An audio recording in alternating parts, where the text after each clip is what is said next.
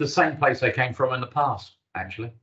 I mean, I, will go back once again, third time in one interview, to the the Warren Buffett quote on Coca-Cola. Um, you know, uh, the the chances are that many of the great businesses of the future are already out there and already pretty darn good. You know, truly great businesses don't mostly emerge out of absolutely nowhere. Um, you know, we can probably go and look at them already there, and they're probably in a relatively small set of sectors of the market as well. I mean, do you think there are going to be many great businesses that are going to emerge out the airline sector in the future?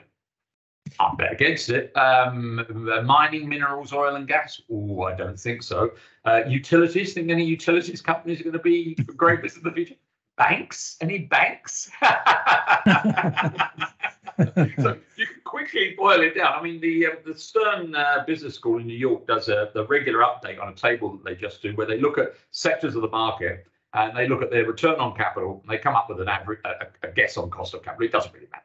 It's, it's kind of irrelevant. It can't be relevant what the cost of capital is because you shouldn't really be buying things for a one percent. And they give you a list of things that make returns above cost of capital and things that don't by sector, and it doesn't change you look down the, the and you go, wow, those are great returns in consumer staples, consumer discretionary, information technology, uh, medical equipment and devices, pharmaceuticals, some elements of communications, and so on and so forth. And then you look at the other side and you go, yeah, banks, insurance, real estate, oil and gas. you had periods of time like last year. I mean, the only way you could really make money last year was own energy companies. That's it. But I mean, the idea that you're going to sit here and have a lifetime of investing owning energy companies and make a great return is bonkers, I'm afraid. yeah.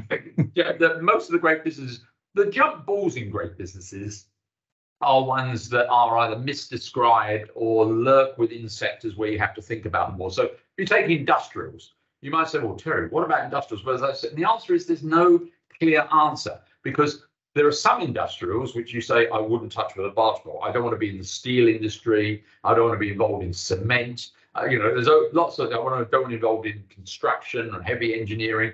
D- d- keep me out of there, right? But there are some bits of industrials which, be, by adapting certain characteristics like installed base of equipment, do pretty well over time. So people like Atlas Copco in compressors and vacuum equipment, uh, and elevator and escalator companies like Kone and Otis and Schindler are pretty good they're industrial. So one of the things I would say to people is, whilst I could say, well, the great businesses are there and they'll probably still be there, and the very bad businesses are there, the bit in the middle, which has got some great companies and quite a lot of not great companies in there, you actually need to think about what the company does rather than what the MSCI tell you the, the, the descriptor is. You know.